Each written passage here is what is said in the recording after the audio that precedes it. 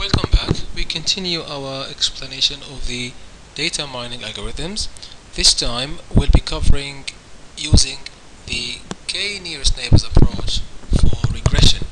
Now in terms of our um, roadmap, uh, we have covered regression techniques uh, based on the frequency table which is the decision tree. We've covered the multiple linear regression which is based on the covariance matrix and now we're doing the one based on similarity functions which is the k nearest neighbors.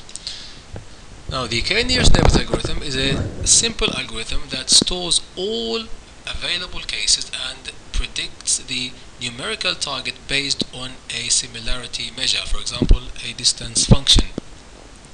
The k nearest neighbor or KNN it has been used in statistical uh, estimation and pattern recognition already in the be beginning of 1970s as a nonparametric technique is quite easy to understand and to implement.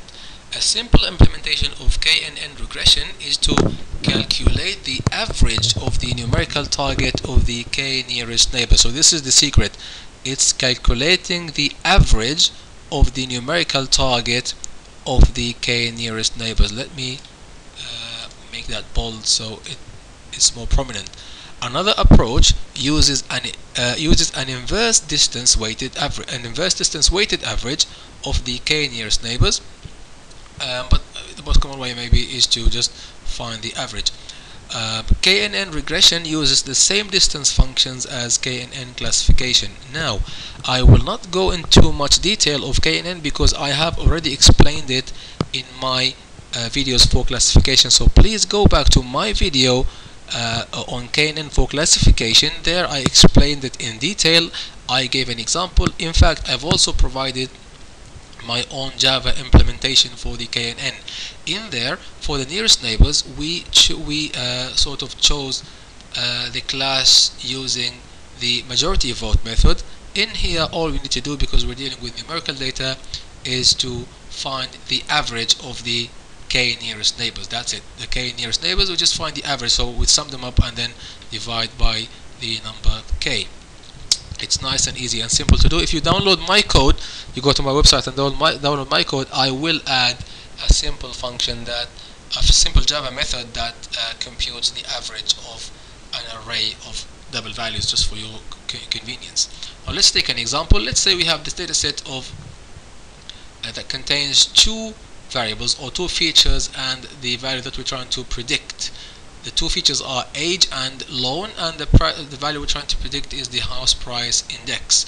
So we have uh, these uh, instances and then we have a new point age is 48 loan is 142,000 and we're trying to predict the house price index using the k nearest neighbor we can use Euclidean distance and then compute the distance between this point and each of our data points. Remember we said that uh, KNN uses all the inputs all the, uh, the, the, data in the all, the instances all, all, or all the examples. We compute the distance between that point and all the examples and then we find the nearest one or we can order them in ascending or descending order.